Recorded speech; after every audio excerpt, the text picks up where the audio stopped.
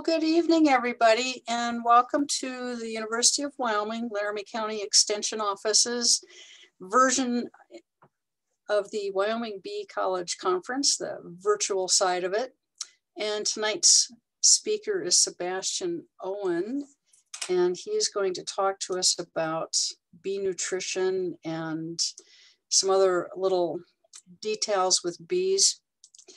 So let me, I still have quite a few people, I still have people in the queue joining us, but I'm gonna read you his, information he sent me.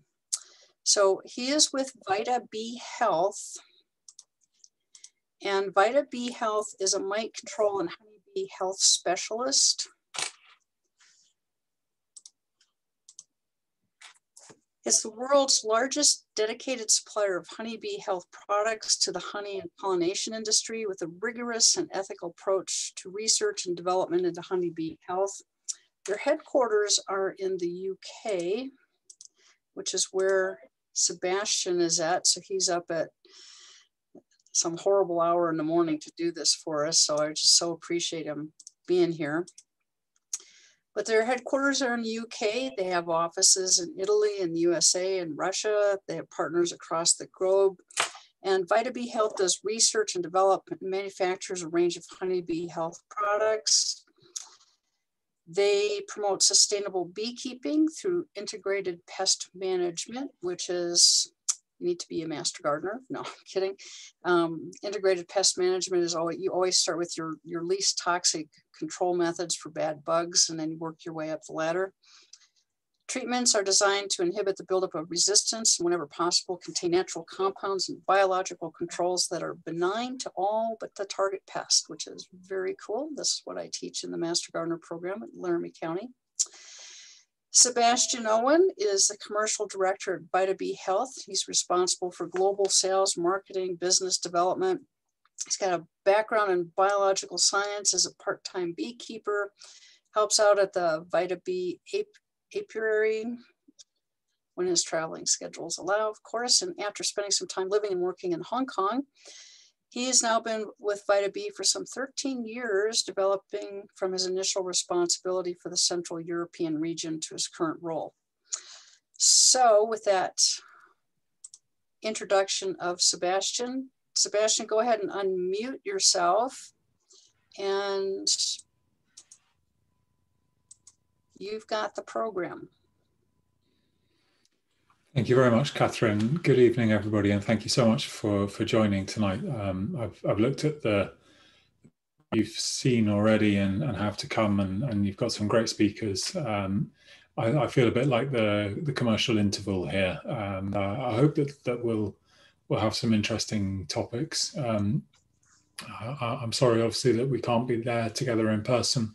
Um, it's it's it's fine doing these things by Zoom. What, what I really miss um, is the the sort of interaction and seeing whether you're you're following and understanding or, or or whether there's any that aren't quite clear. So please get in the chat box. I'll keep an eye on it as I'm talking. If you have any questions along, then um, then please put them in the chat box and I'll I'll get to them when I can. Um, failing that, uh, I'll hand at the end and, and any questions we can address as well. So I'm going to my screen. Um, I'm just going to assume that you can hear me okay and that you can see the screen and uh, I'll assume that somebody will shout out if um, if you can't. So a quick overview. Um, those that, that don't know the company, um, you may have heard of, of two of our products, Apiguard and, and for Varroa control. So we're, we're primarily a, a Varroa control company. We've been going now for um, getting on for 30 years. Um, proud in in an industry that you know, as a beekeeper you may not know when you're you're buying your treatment for health whether your dollar is actually going into the pocket of a company that makes pesticides or agrochemicals that may not be be quite as, as good for honeybee health as, as we'd like. Um, we're, we're, very proud to be run company. Uh, we're a very small company. There's just six of us based in the UK. Um, um, working around the world, active in about um, 55 or 60 countries, um, always working to keep your bees as, as healthy and productive as possible. but I don't want to talk about Varroa um, tonight. Obviously, it is um, probably the, the biggest um, problem for, for honeybee health worldwide. But I, I think there's something that um, that's not more important, but but perhaps less talked about, and something that's really worth addressing tonight, um, which is is honeybee nutrition. in particular, how a lot of beekeepers are doing it wrong, and and what we can all do uh, better to to improve overall colony health and productivity.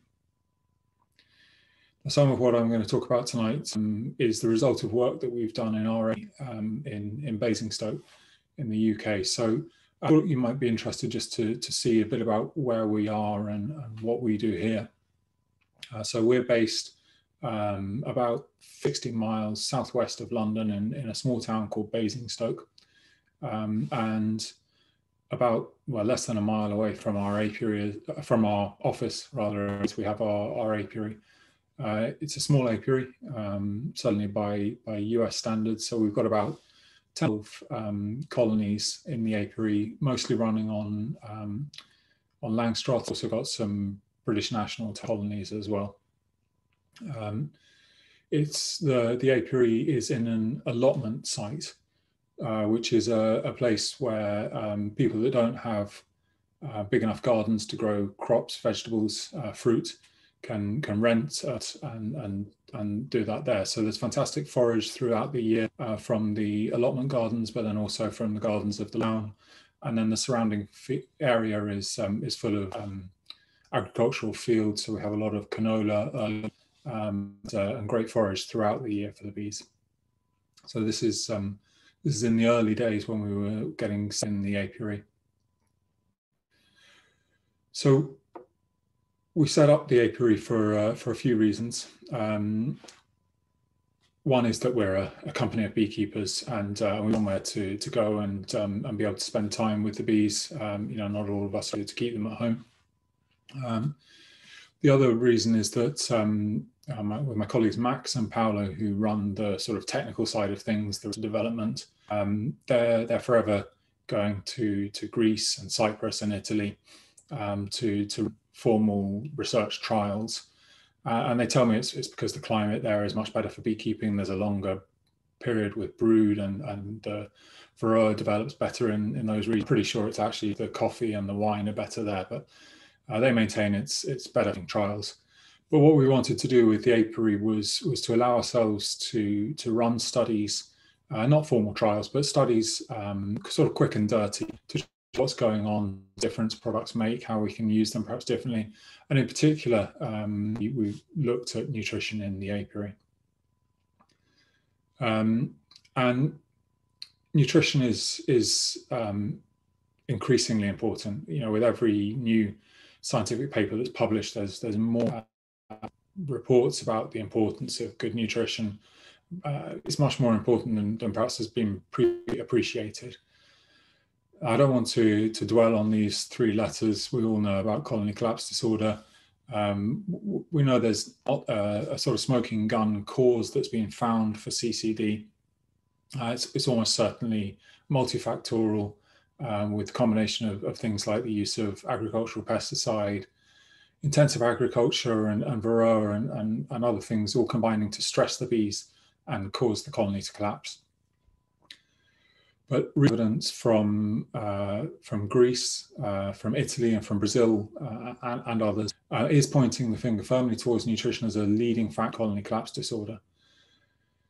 So researchers, for example, that bee bread is contaminated with a cocktail of chemicals. Um, I don't know if you can can read this slide. It's not too, what what what you can see there is a um, a pollinator, um, which is showing a huge number of chemicals a lot of them harmful to bees uh, that have been found in, in the pollen that the bees are collecting and, and bringing back to the hive. Um, and you see that that then builds up in the in the bee bread and the in the food of the bees and results in a decrease in, in bee lifespan. So why is nutrition so important? Um, basic level, each each colony in general has just one queen and she can lay about 2,000 eggs a day. Once uh, an egg's been laid in a cell, that's then occupied for around three weeks before a new egg can be laid inside. So there's a limit to the amount of brood you can produce. and a limit to the number of nurse bees that are required to look after that brood. So we know that for a good honey harvest, you need a strong nectar flow. Um, and it's also well known that large colonies are, are the most productive. And, and, this is because as the colony becomes larger, the ratio of honeybees compared with brood is much um, is much higher. Sorry, the, the ratio of, of, adult bees compared with brood is, is much higher. So you can see this on the left-hand side that there's um, as the colony gets bigger, there are more foragers compared to the amount of, of brood and nurse bees. Those foragers obviously go out and burst into honey. See on the right is that um, if you take a, a certain number of, of, bees, they're almost always going to be more productive in one colony than if you split that same number of bees across multiple colonies. It's an exponential between the number of bees and the, the maximum possible production of, of honey that, that, that number of bees can reach. Not, not to say that you'll always get that amount of honey, but that's the, the capacity they have to reach. So how do they get where nutrition comes in? To grow into a, a strong and productive colony, all the nutritional needs of the bee must be met. So bees, just like us, need carbohydrates, proteins, water, minerals, vitamins, lipids, which are fats, and, um, and lots of trace elements like magnesium the carbohydrates that bees need, they get from nectar. About 60% of the carbohydrates come from nectar, and then the other 40% roughly comes from pollen. And they use these carbohydrates to use two types of fat. Produce, and then also body fat or vitellogenin. Bees can't store sugar directly, so this vitellogenin is deposited in the adipose tissue, especially in the autumn. And bees need protein to make enzymes to catch that reaction, the conversion into vitellogenin. Looking at the, the lifestyle of bees, larvae need carbohydrates, but in particular, what, what they really need is a lot of protein, which they get in the form of royal jelly, to support that development from egg to adult bee after emerging for the first two weeks of a bee's life, they're they're in the hive. They're produce uh, performing in jobs like keeping the comb clean, feeding the larvae, building new comb. Uh, at that time, these newly emerged bees working really hard to build up their fat bodies as much as possible with protein, fatty acids, and carbohydrate. So these early bees are using a lot of protein to produce royal jelly and wax.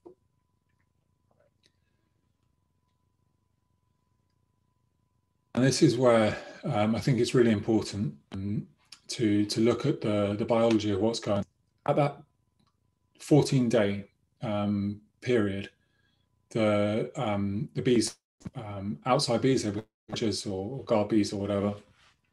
Um, at that time, after two weeks of building up their fatty body as much as possible, the peritrophic membrane surrounding the gut, the, the cells lining the gut, start to degrade, uh, which means that the bees can no longer absorb protein and, and they from then on their fat bodies are their only proteins so that first two week period in quantity of the fat body that they're able to produce in that time in that first two weeks go take the the length and the quality of the bee's life. So what you can see on the on the left is a uh, is a nice peritrophic membrane. In the middle is a is a honeybee gut. That's a bee that's been feeding on um, pollen. And what you can see there is within the within the gut there are the pollen grains, and there's a lot of space, um, a lot of space which is taken up with water, uh, which is required to process those pollen grains. Hand side is the bee that's being fed with um, free amino acids.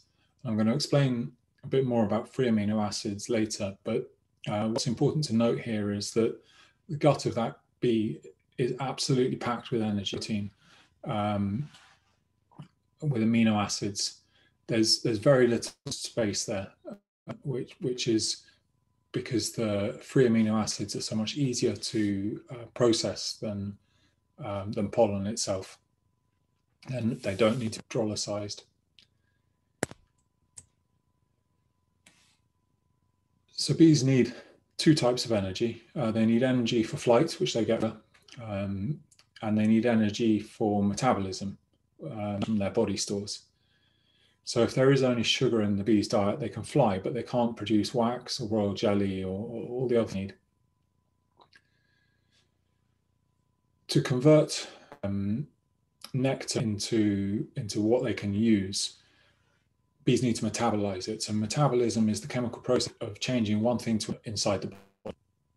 Um, bees can't use sucrose, which is, is nectar, uh, or rather nectar is sucrose and, and, the bees can't use it. So they need to metabolize it into glucose and fructose, which are sugars that they can use and, and store. To, to make this conversion, to have glands that, that convert protein into enzymes and the enzymes then, then affect the conversion. So obviously they need protein, they need protein to create those enzymes.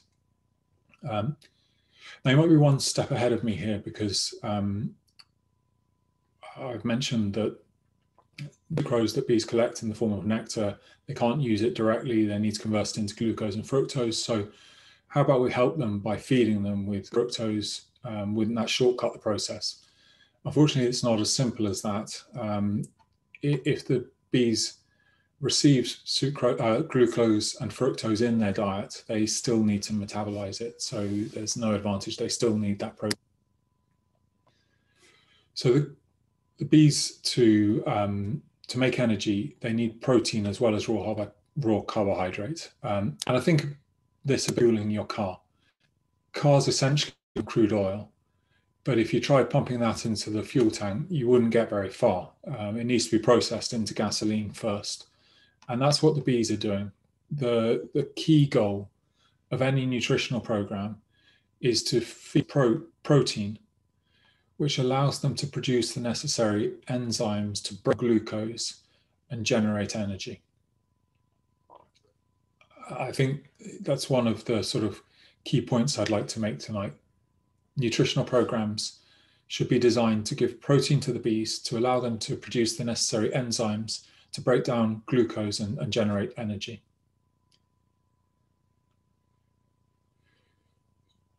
Comes naturally from pollen, and bees need it for the growth of muscles and tissues, for enzymes, hormones, producing new cells, support their immune system, and to make these processes neutralize, which means break down proteins into their component amino acids. Um, and these amino acids are building blocks like the Legos of, of proteins, and they can be reformed into, into the proteins and enzymes that the bees need if a particular amino acid is, is missing from a bee's diet, the body can synthesize it from other amino acids that are present in excess. But there are some amino acids that bees can't. These are called essential amino acids. What that means, they must be consumed in the diet. They're essential to be to be consumed. And it, it's not just that they're required; they're all in that they they must be in the diet, but they also must be there in the correct ratio. So you might hear, for example, that isoleucine needs to comprise about 4% of the total protein content of the bee's diet. So when they're collecting pollen, they need that, that pollen to, to comprise 4% isoleucine. Now, if it doesn't, um, what bees can do is, is go and, and forage on a range of different pollen source um, and bee bread to, to create a protein source with approximately the right balance. But it may be the case, um, and particularly with, with monoculture and uh, forage, that that's not possible. If the um, if the final protein available to the bees only has, for example, two percent isoleucine, only half as much as um, as they require, then the bees can only process half of that protein source and, and they'll need to expel the rest. They, they can't process it. And I think of this like a dog. Um, if you if you look at dog food, um, then uh, you dog a, a, high quality food and and it'll almost look after itself. There's not so much clearing up to do. But if um, if the is um, is not of a high quality, then you, you you know you need black bin bags rather than little poo bags to go around with you. It's the same with bees, and what we see with bees is um, is a pollen block where there's a, a small amount of um, of brood surrounded by pollen. And it's easy to do that for and, think that there's um, of pollen and, and, there's no problem. But actually, what you're seeing is that it's pollen of uh, or, or, protein of a low quality um, ratio of, of essential amino acids, and, and the bees are unable to to fully process it. So if we look at this at a only level, uh, on average, bees consume around um, somewhere between 20 and 60 kilograms of pollen a year. We can grade that pollen um, by the percentage of crude it contains. So pollen obviously isn't all protein. Um, below about 20% protein content of pollen, we'd consider low quality. Above about 30 would be excellent quality. And, and this then has a knock-on effect. For every 10 grams of protein that a colony needs, if they've got a source excellent quality pollen, so about 30% or more crude protein, they only need to collect 48 grams of, of pollen to get that 10 of, of protein. But if the, the pollen available is low quality, it's only got about 20% crude protein content, and they might need to collect 80 grams of pollen to get that same 10 gram protein. So back to the colony level, you can have an increase in, in um, pollen requirement from 40 kilograms if it's excellent quality um, pollen, high crude protein content, up to about 60, 70 kilograms of low quality pollen. And this um, see manifests itself as a smaller brood area, fewer bees, and, and reduced honey production because obviously there's there's a huge amount of additional workload uh, in, involved in all of that additional pollen. So the, the two factors that I've touched on there, um, the ratio of, um, of essential amino acids, um, for example, the 4% isoleucine, and the percentage of crude protein, um, put, put them together and, and it um, explains why there's a general rule of thumb that bees need six to eight doses of, of pollen at any one time to, to maintain a healthy colony. And you can see that quite easily as a beekeeper by watching bees coming into the hive on the on the board um, or, or checking your frames and looking for colors of pollen. And if you can see seven, eight different colors of pollen in there, then in general, your colony is going to be thriving and it's going to have a, uh, a well-balanced diet and it'll have the, um, the protein that it requires in the quantity and quality that it requires. If not, that's when you need to start thinking about making a, an intervention possibly. Um, because if there isn't enough pollen or, or, if the pollen isn't high enough quality, um, nurse bees can't royal jelly. They'll also um, evaluate the of the colony um, and they they will first of all reduce the amount of royal jelly that they're feeding to to larvae um, and eventually they'll start eating larvae and, and eggs.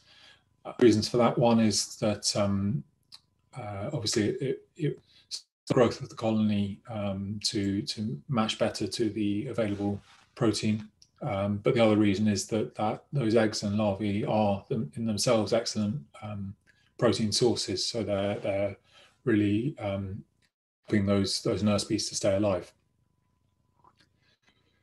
So I've talked a lot about some protein this evening. I hope you've eaten already. I apologise for showing this this picture, um, but I think really important, and um, it's analogous, um, I think, to uh, to us um, having having a Big Mac and Coke three times a day every day. So beekeepers often fall into the trap of of just feeding sugar to their bees. Um, you know, you might heft your colony or, or, or look at it and think, I, I need to boost this colony.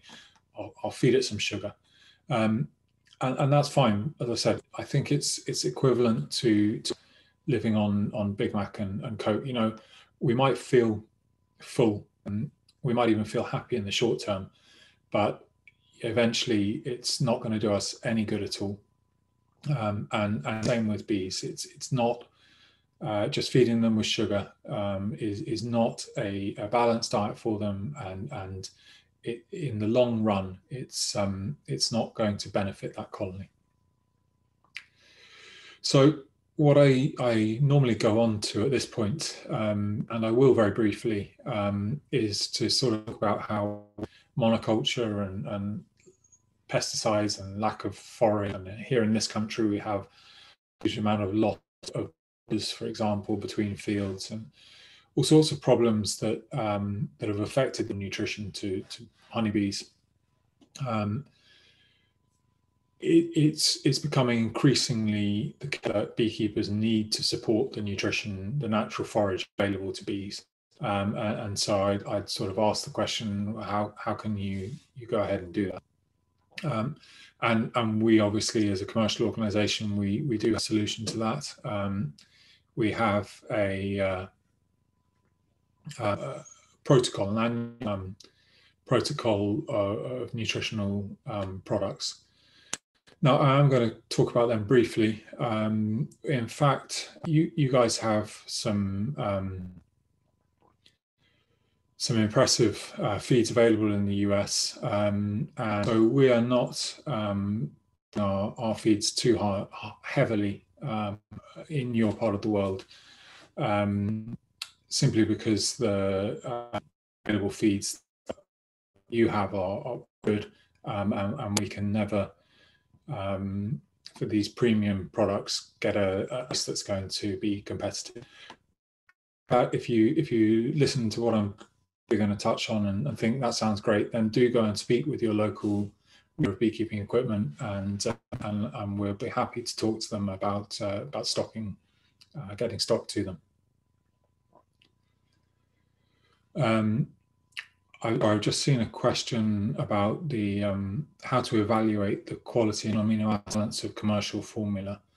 Um, I'm I'll come back to that question a little bit later if you don't mind. I hope that's okay. So um, our, our, feeds, we've got three, um, which are broadly to be used in sort of build-up period um, during the honey flow and then um, after the honey flow when the winter bees are, um, are trying to strengthen themselves ready for that winter period. Um, in, in springtime, we've got a product called Vita Feed Power. It's a liquid feed. It's um, mixed with sugar syrup and fed to the bees. We compared it with um, with just sugar syrup and found that after 30 days, um, you got roughly two extra frames of brood um, what's perhaps unique about our um, liquid feed Vita Feed power is that it's um, in some research recently that vitamin C apparently has some beneficial effect, um, perhaps giving a little bit of tolerance um, against varroa. Obviously, it's not a treatment for varroa, um, but it seems to have some kind of beneficial effect. I believe that Vita Feed Power is the only commercial feed which has vitamin C added in it. Um, but the, the, the point is it's packed with free amino acids so you remember that um, image I showed of the bee gut with the free amino acid. So don't need to break those down into um, into component amino acids. It's already been done.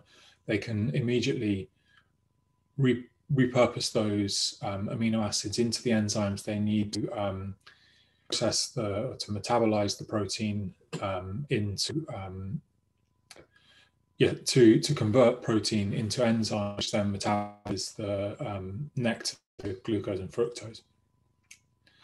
So um, what's important with V-Power um, is you're feeding a lot of amino acids.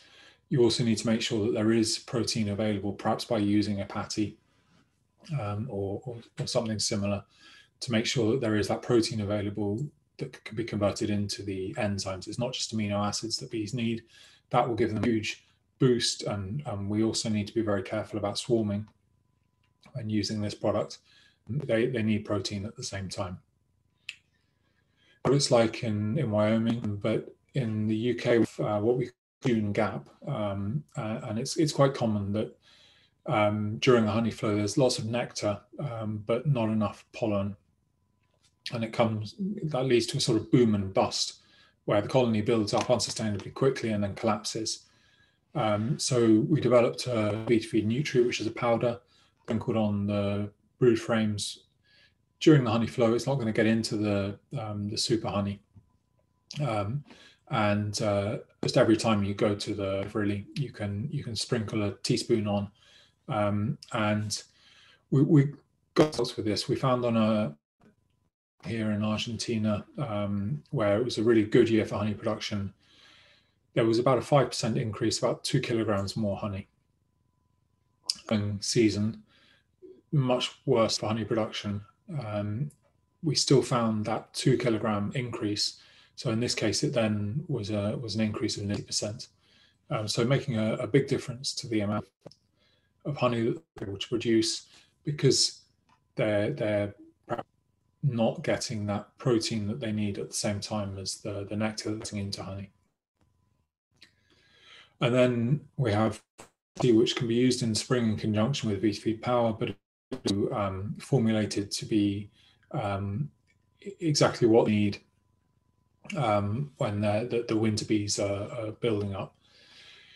Again, when, when you use it in the spring, compared with just a, a sugar uh, fondant, it, um, it gives an extra frames of brood roughly um, after a month of, of use. So you might be thinking, well, Vita Feed Power gave two frames extra. Vita Feed Patty does as well in the spring. You're you're saying it might be a good idea to use the two of them together. So does that mean I'm going to get four frames more brood?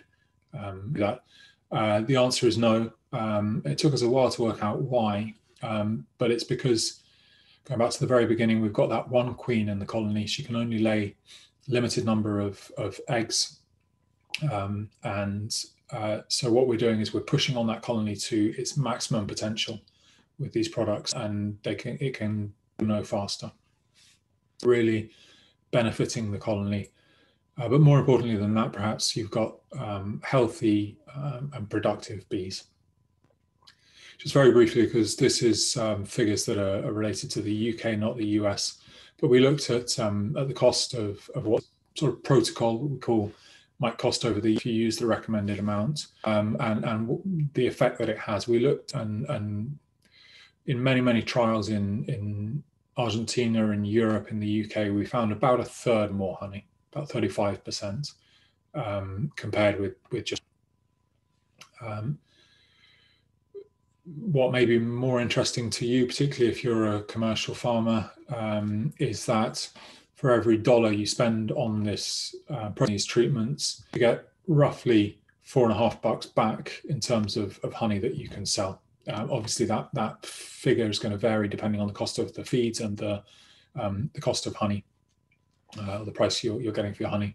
But as I said, we're also seeing, and, and this is what's so important about good nutrition, is that the, the colonies are healthier, they're better able to resist disease, um, and they're better prepared for winter and, and then to, to come bouncing into spring. So that's our, our nutritional protocol. Um, for those that don't know about Vita, I just wanted to um, to give a brief overview of, of who we are, um, and, and, again, just to sort of open this up to any questions you might have. Anyway, so ultimately, we are a commercial organization um, and, uh, and so these products are, what enable us to keep going. So if there is anything that you'd like to know about these products please do um, do let me know and I'll try to address it. So for our control we've got Apiguard um, thymol based gel Apistan the um, strip treatment and uh, relatively new the bee gym which is um, it's like a scratching post for bees. It's a, a grooming device which helps the bees to um, to groom Varroa off. I just wanted to address um, a couple of things about Apiguard. Uh, it's a it's a wonderful product, and we we hear people having a couple of objections to it, and I, I just wanted to um, sort of address them. Um, calling them myths and facts is is a little bit uh, over the top. But people people say, for example, Apiguard is a thymol. Does that mean it's got a very narrow temperature window? Um, yes, and have a temperature window. It's uh, uh, it works in two ways by um, station um, and by contact. The, key is essentially if the bees, if you see them in and out of the hive, then the Apiguard is going to be working. Uh, we, we, can um, uh, temperature range, and, and obviously the most thing is to follow the label and, and use it according to the label directions. Uh, but essentially, what is is a temperature um, reactive gel matrix. So the, the gel expands when the temperature to allow quicker and um, more efficient and, and it contracts when the temperature high to prevent the um, vaporization happening too quickly. Um, and basically, if the bees are flying, it's it's working. People also, we, we all as beekeepers love strip treatments. Um, and and people say, well, no, I, would love to use Apiguard, but it's just too much work. Uh, with a strip, what's really important, whether it's Apivar or Apistan or any of the other strips, chemical treatments must be used for period that they're that's on the label, usually six to eight or ten or twelve weeks, um, and they must be removed. Apiguard being a, a natural treatment um, and being one that degrades as, uh, through um, the bees getting it in their mouth parts and on their body and injecting it from the colony. One of the ways that it works, and as they're doing that, it comes in contact, it leaves a trail through the the frames and, and comes in contact with the mites, and also through that vaporization, it, it, it's going to naturally disappear over the period of treatment. So um, with Apiguard, you need the first dose, and then come back.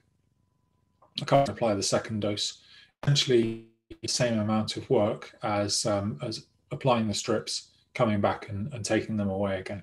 Um, and I've seen uh, commercial beekeepers applying Apiguard, and, and, I can tell you it is it, it's just as quick as um, as putting strips in the colony. Why am I making a, a, a sort of big fuss about this? Um, it's because I think it's really important that as beekeepers we are trying to um, extend the, the longevity, the lifespan of the treatments that we have available. There's a finite treatments, um, and we need to work together to, to extend that. One of the best ways to is integrated pest management, which has various facets. One of them is rotation of treatments. It, it is to rotate treatments, not use the same one time after time, year after year. And Apiguard is a fantastic rotational partner um, for strip treatment, uh, and, that um, but I think if you try, you'll you'll find that it's um, it's worth. It. Uh, to answer a question of Apiguard is available um, in the US through most of the the retailers. Again, if it's not, have a chat with them, ask them why they're not stocking it. We'd be happy to um, to supply them. Very briefly on on Apistan. Uh, um, we've sold Apistan World um, for more than 30 years. For historical antitrust reasons that I don't fully understand, Apistan was always handled in the US and Canada by a different company. But in the last uh, 18 months or so, we, have taken over, less than that, sorry, six months, we've taken over sales of, of Apistan. And, and it's, it's the one subject I've found that can unite beekeepers. You know, you ask um, three beekeepers a question and six opinions, except if that question is is tell me about Apistan, in which case you'll only get one opinion, and that is oh it doesn't work anymore. Uh, well, that may be the case in locations, um, particularly where a lot of the the active ingredient being used. Um, but I, am here to tell you that it's not always the case. Apistan we sell around the world. Um, it's still our biggest selling product it's still highly effective, as you can see from some of these studies, um, including in the US.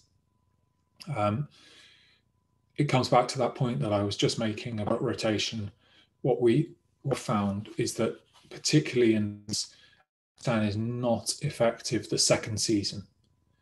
In most countries around the world, we'd say it's it may not be effective in the third or fourth season if you continually use it. In the US, it seems that the resistance is is different and if you use Apistan one year, it won't be very effective the following. So it's it's really vital to um, to uh, use that um, product rotation strategy. We've got the nutritional products, which I've already talked about. Uh, we have our um, field kits for American and European foul brood, uh, like pregnancy kits. Uh, you you pull in, and, um, and about ten minutes later, you'll um, you'll have a, a re result as to whether you've got either or um, American foul brood uh, with, with the same accuracy as a lab test. We've got our, our swarm attractant white, which is, uh, an impregnated wet white uh, that can be put in a bait box or an empty nuc or a, or a hive um, and is extremely to, to bees when they're swarming. And just new on the, on the market again in the US, um, for regulatory reasons, it was not sold in the US for many years. Um, previously known as, as B401 or Certan, we now have, um, have a slightly improved formula, which is called B402 or Certan, uh, which is a, a, wax moth protection um, product. It's a, it's a highly concentrated bacterial solution that you dilute with water um, or mix with water, spray onto the frames back and front, leave them to dry, complete protection against damage from wax moth um, over the season. So those are our, our products. Um, thank you again for, for listening to me. Um, and um, if you do have any questions about any of our products or about the nutritional aspect, um, please do put them in the chat um, or, or, come on um, on the video, and, uh, and, um, and, I will do my very best to to answer them. So I'm just going to go back then. So how does one evaluate the quality and nutritional amino acid balance of commercial formulas? Um, really uh, pertinent question. Thank you for asking that. Um, the there are there are papers out there um, which uh, have have researchers have done work into exactly what is needed by um, by bees. I think one of the first things to do is to ensure that you use a product that has been designed from the ground up for bees, um, and that's that's first of all a, a, good indication that it's going to have the the correct nutritional balance. Um, if it's a repurposed animal feed, which which some are, um, then it's it's not necessarily going to have the right balance that bees need. Um, unfortunately, the only other advice I can give is sort of quick and easy way to do it. There is a great paper um, out of Australia. I think it's called Fat Bees, Skinny Bees, um, or something like that, which has some fantastic information in it about the needs of bees. Um, and there's there's a lot of other information available. Um, there, there isn't a sort of simple way to um, to get that information. No, I'm afraid. What, what I can tell you, um, if I want to to to indulge myself um, with an advertising pitch, is products have been developed from the ground up for um, for honeybees specifically, based on all the latest research. Um, we're constantly um, looking at that and, and if we're, we're doing iterations of the formula to make sure that we do have the very best balance of, of amino acids and, and other nutritional components. How does Apiguard affect the laying performance of the queen while the product's in place? Question as well. Um, it can um, the laying performance, it, it, particularly if used in spring. Um, any thymol product can cause the queen to temporarily get go off lay. Um, it might only be a day or two. Um, it, it's, it's almost always temporary, um, but it, and it's very rare. Um, but it, it is a possibility with any thymol product that the queen will go off lay for a few days. We normally recommend not using Apiguard in the spring for that reason uh, because at that time, obviously, you want the the, the hive, the colony to be developing as fast as possible. Um, but as I said, it's a it's a rare effect, uh, so uh, it's a balance that, that that one needs to take in the um, need for varroa treatment um, and and colony development. Um, in general, you won't find any problems, but it is possible that the queen will go for a few days. Um, I've got a question here that I'm afraid I can't answer. Um, we hear a great deal about honey bee protein and carbohydrate. Could you comment on the fat, lipid in the honeybee diet? Um, I'm not an expert. Um, I, I, have a, a broad understanding of, of, honeybee nutrition, but I, am not an expert on lipids. Um, their, their use in the in the diet, um, their role in the diet. So, going to skip that what I'll do is I'll put my email address in the chat here. please email me with that question and I will pass it on to, um, to Paolo, our technical director who developed these. He, he knows everything there is to know about honey nutrition and, and I'm sure that he'll be able to, to answer that for you. Um, I'm just going to put my, my use in there now.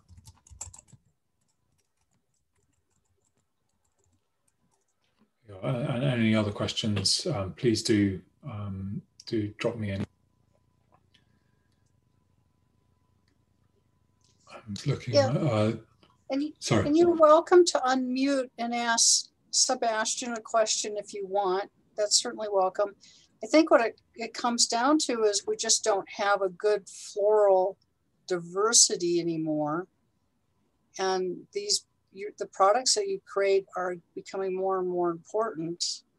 I, in Wyoming, which is where a lot of or attendees are from and parts of Colorado, we have a very short growing season, Sebastian, and, and we're almost always in a drought. And so our variety of flowering plants is very limited.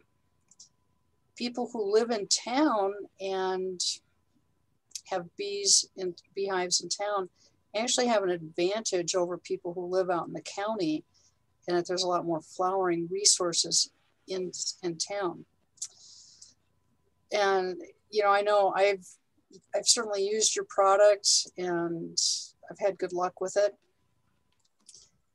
If any, again, if anyone's got any questions, um, go ahead and Tina, I see you've got your hand raised. Go ahead and ask a Yeah. question.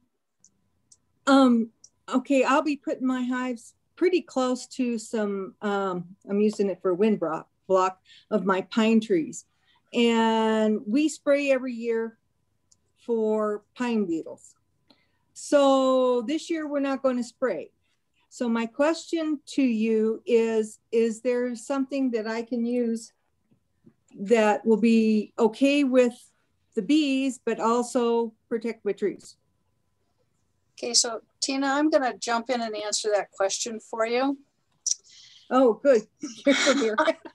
Um, we're not spraying. We're not. We are not spraying for mountain pine beetle anymore. And okay. and it's just it, it just hasn't warranted itself. We are starting to go into a drought. I would highly recommend that you water your pine trees extra. Yeah, we did that yesterday. Yeah. Okay, and and and even when if you think you've watered them enough, give them some extra water. I mean, seriously, Okay. you just you're just not going to overwater a pine tree in, in Wyoming. So that's that's my suggestion for for that. If you really feel you need to do something, I would recommend an imidacloprid or neonicotinoid. I know that's a bad name in, in the industry, but but for non-flowering trees and shrubs, this stuff, the neonicotinoids are just amazing. They're they're not mm-hmm. they're not getting sprayed into the environment. They have a very low lethal dose so that they're not Okay. harmful to mammals. And if you need to go that route, that's the way you should go is, is with like a soil drench for this.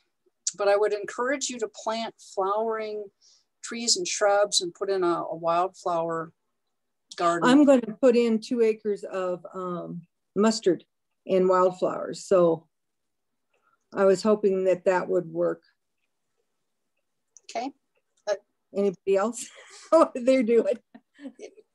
You're welcome to call me at the office and I'll come out Okay, I might. do that. Um, I'm just going to, I've noticed a question, I think, from, uh, from Lisa about the BGM, um, asking for a picture of it. So I'm just going to that. Um, I wonder if I can do this. Um, I don't know if you can see two pictures there. So there's um, one which is a, um, an image of the BGM itself. Um, so it can, uh, what you can see is that it's got some spikes um, and some what we call flippers. And down at the bottom is is basically fire. Um, so the bees go go through, uh, and, and invented it is a videographer, and he's got great video. Um, some of it's on our website. The bees using it, and and you can see that the bees uh, choose to go through it. Bees coming back with pollen choose not to. Um, they don't out Um, they go to the, the fishing wire, um, they, where they go through that part, um, they're, they're sort of bent over, so anything on their backs is knocked off. And then they'll, they'll time grooming themselves on either the flippers or the spikes. Um, and it's um, it removes um, varroa, and, and, what it does is it, uh, it, it damages the varroa, usually their, their legs or, or similar, um, so that when they through, they're um, they're not able to to recover back into the colonies. Um, what you can see, if, if, you can see two pictures on that is a um, is a, an image of a sticky floor um, that's been put under a hive with a bee gym in it, um, and you can see there the effect of the gym um, with the, the increased debris and, and varroa falling underneath where the bee gym is. You can see almost a, um, a mirror image of it. Um, so it's having some kind of effect. We, would never sell this varroa treatment. Um, we recommend that you use a, um, a, a, a approved medicine for varroa treatment.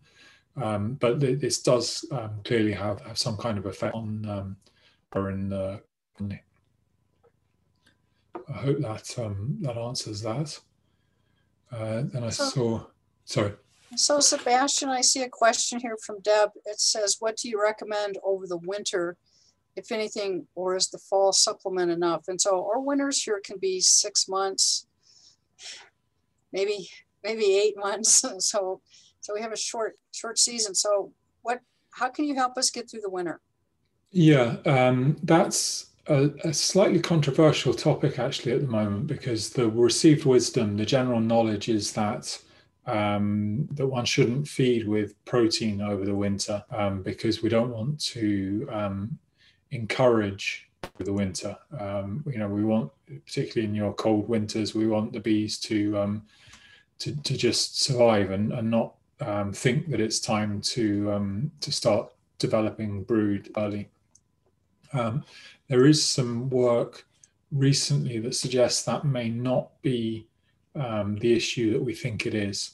Uh, but in general, um, the the key with winter nutrition is to um, is to ensure that uh, the sugar source essentially is is as close to the cluster as possible, so that the bees can can get to it and where possible, um, and I, I, don't know exactly what kind of weather conditions you're getting and, and whether your your colonies are under snow over the winter or not. But if possible, you know, you want to be hefting the colonies, just having lifting them up slightly to to feel uh, the, the weight of them, and, and you get a sense sort of stores they've got available.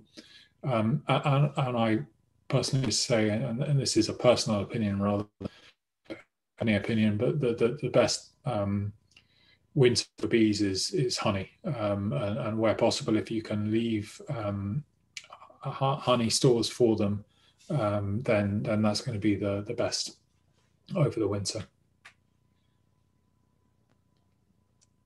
So Sebastian, we've got a question here about water and bees.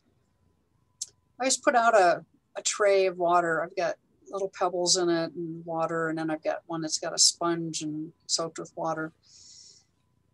But uh, the question is, is there a natural way to encourage bees to stay away from livestock and livestock waters and feeders?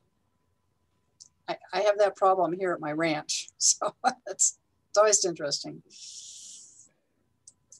Um, I mean, I guess uh, screens is the only thing that mind. Um, uh, you know, if you if you look at the flight path of the bees to the water, um, if there's some way that you can you can screen it with a sort of six foot high hedge or, or, or mesh fence or something similar, um, so you're preventing them from having a direct flight line to that water, so you're directing them to to an easier to access water source I mean, that's just something off the top of my head that may work. Um, uh, i have not heard of any research into into how one could do that. Um, I, I, can't give a scientific answer. I'm afraid.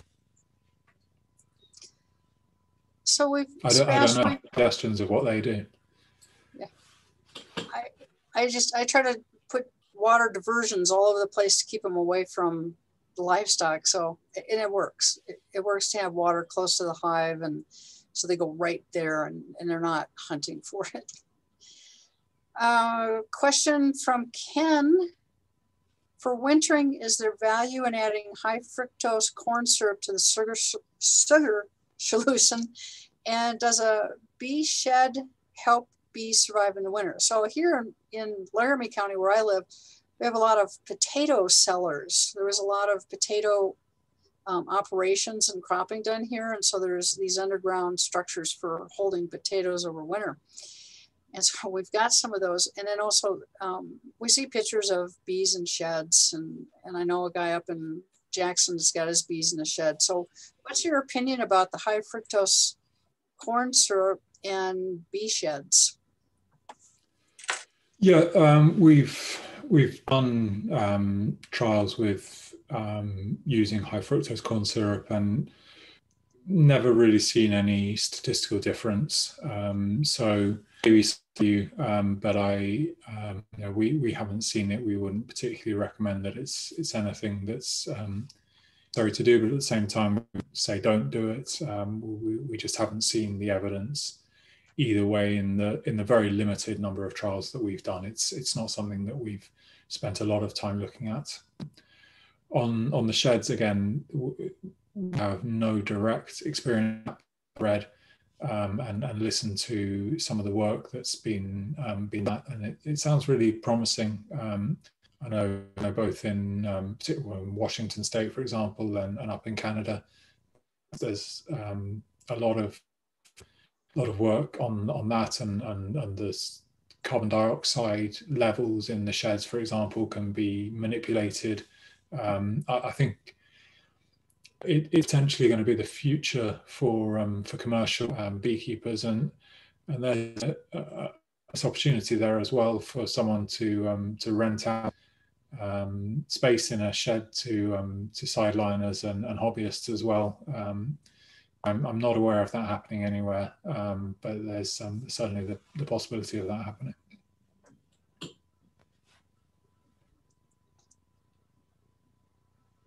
Okay, thank you for those answers. Any other questions? And again, you're you're welcome to unmute, raise your hand, put it in chat. Um, great opportunity to um, ask some questions on nutrition and Varroa and whatever comes to mind. I've your just seen seen one on the bee gym where it's a bit um, best place in the hive. Now we, we used to say um, use it uh, with an open mesh floor um, so the, the the might out of the bottom and can't can't come back into the colony and, and place it on the just inside the entrance um, so that the bees can choose to use it or not. So leaving a little bit of space back from the entrance on the on the um, and, and positioning it so that the, um, the sort of fishing wires at the front of them as well. Um, then more closely, and um, we, we sort of discovered that the mites have been damaged during this grooming process, and so there's not much of a risk of them reattaching to other bees or reinfesting the colony. I found that there seems to be a better effect on top of the brood frames. Um, so essentially, either is is um, is effective. It can either be put up on top of the brood frames, some cluster, or, or down underneath them on the floor. Um, one thing that we have found is useful is to move it around every now and then. Um, so it can be left in the colony all year round, um, but it, it, the bees get used to it after a time and stop being so interested in it. If that's the case, um, you can reignite that interest by, by washing it um, in, in soda solution, for example, bring it back, or, or just even moving it a couple of inches, um, and uh, and that sort of re, re the interest of the bees and allows them to use it more.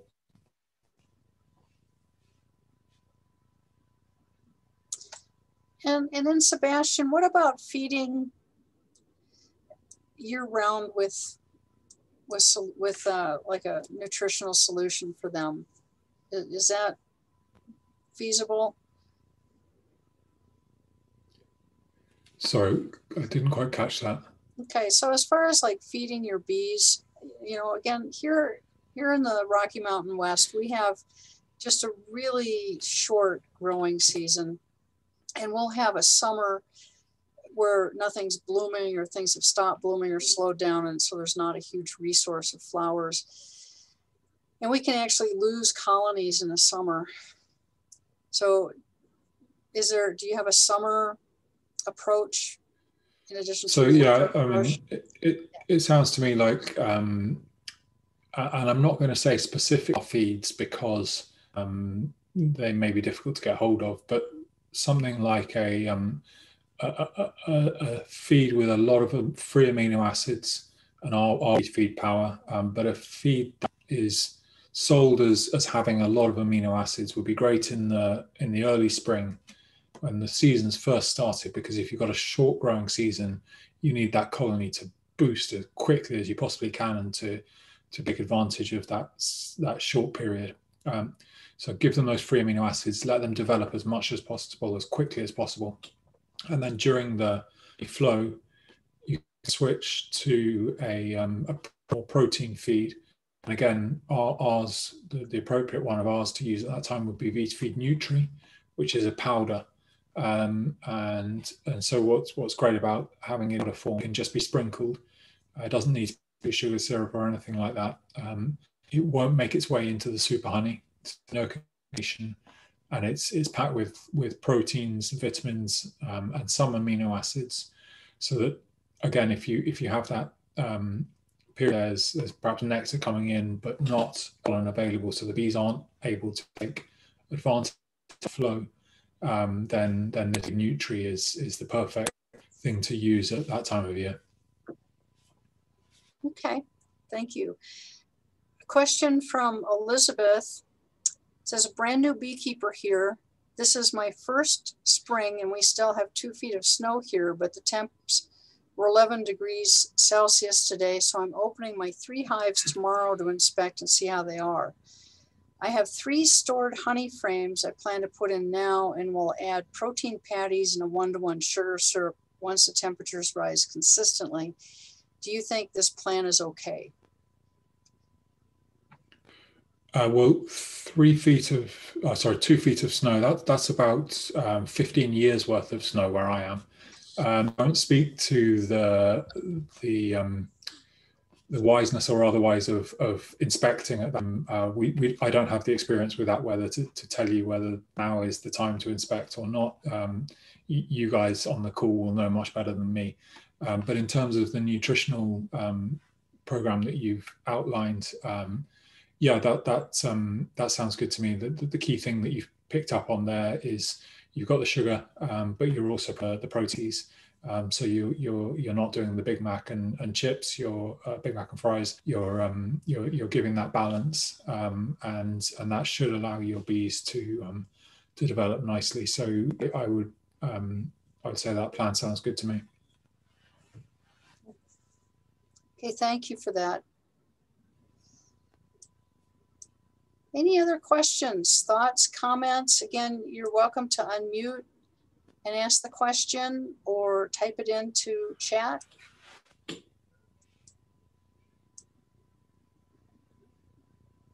Yeah, Sebastian, some great information and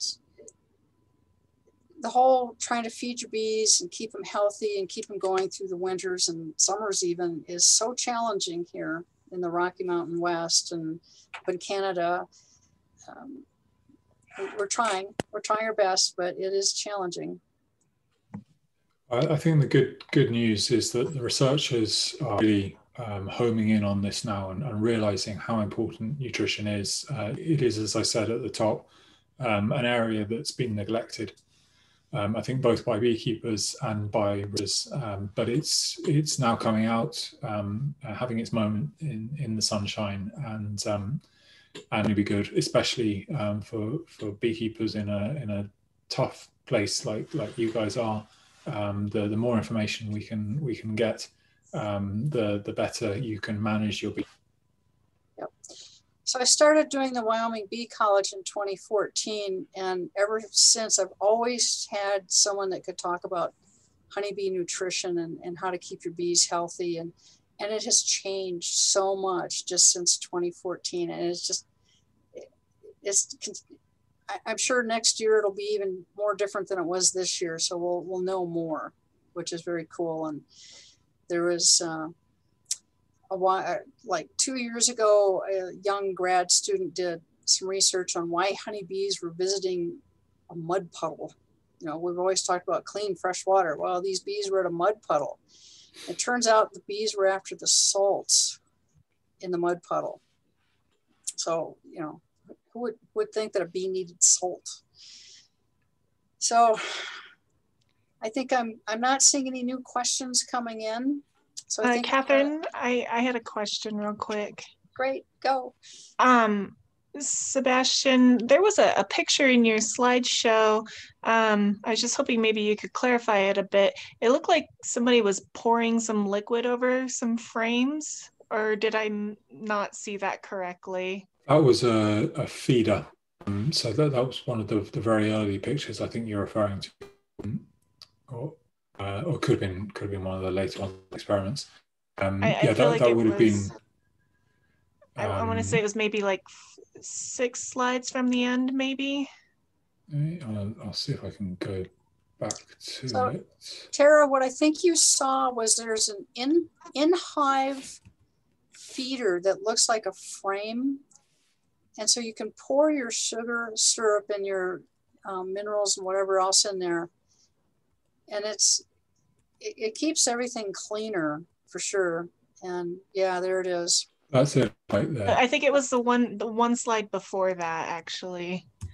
So what you're seeing on the, Oh. on the right hand side of that hive is the feeder. Um, That yeah, that one. he's um, he's pouring the that's um, sugar syrup mixed with feed new uh, Vita Feed power, sorry, um, into the the feeder. Um, so it's it's there in the in the hive. What we do is um, we put a um, a floating piece of wood in that at the top so that the bees can rest on on the wood um, and, uh, and and feed on on that solution um, and, it, and it's there hive at the right temperature. Okay, I, I have never seen that before. It's very cool. I just, um, one of my friends who's on here right now, she, um, uh, one of her glass jars uh, leaked, and I think she lost a hive or a colony because um, they got wet and and uh, over the winter. So it was a little bit sad to hear that. This, but this would be just I was I was a little the- concerned about that. And then, as I said, you, you can see it a little bit more clearly here on the right hand side. It's a different feeder actually in that hive, but it's the same principle. okay, thank you. Yeah, and Tara, I think I've got one in the office. I could show you how that one works. And then um, Sebastian from Dave, my bees go after coffee grounds in the compost in the winter. They ignore it the rest of the year. I, I'm sure they're not looking for that morning cup of coffee, but is there something in the coffee grounds that would attract them? Uh, That's again, that's something that I can't answer, but it's fascinating, and it's that's the um, that's the the start of a of a thesis there. I think that's um, that's a research for for somebody to um, to look at what, what what it is in the coffee grounds that the bees are after at that particular time of year, and and uh, um, but no, I, I can't answer that. I'm afraid.